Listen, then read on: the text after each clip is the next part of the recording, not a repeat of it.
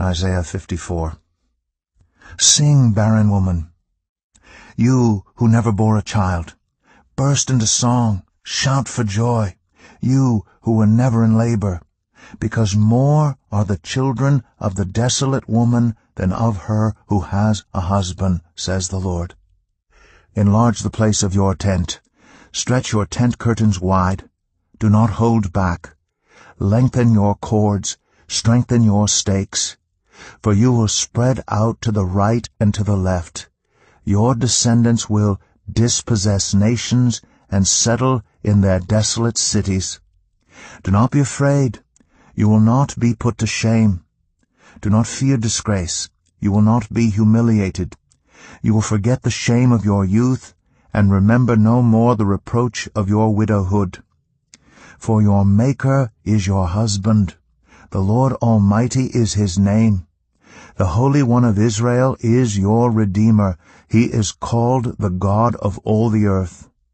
The Lord will call you back as if you were a wife deserted and distressed in spirit, a wife who married young, only to be rejected, says your God. For a brief moment I abandoned you, but with deep compassion I will bring you back. In a surge of anger I hid my face from you for a moment, but with everlasting kindness I will have compassion on you, says the Lord your Redeemer. To me this is like the days of Noah, when I swore that the waters of Noah would never again cover the earth. So now I have sworn not to be angry with you, never to rebuke you again. Though the mountains be shaken and the hills be removed, yet my unfailing love for you will not be shaken, nor my covenant of peace be removed, says the Lord, who has compassion on you. Afflicted city, lashed by storms, and not comforted, I will rebuild you with stones of turquoise, your foundations with lapis lazuli. I will make your battlements of rubies, your gates of sparkling jewels and all your walls of precious stones. All your children will be taught by the Lord, and great will be their peace. In righteousness you will be established, tyranny will be far from you.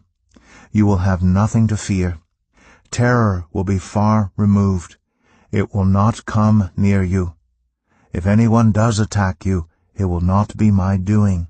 Whoever attacks you will surrender to you.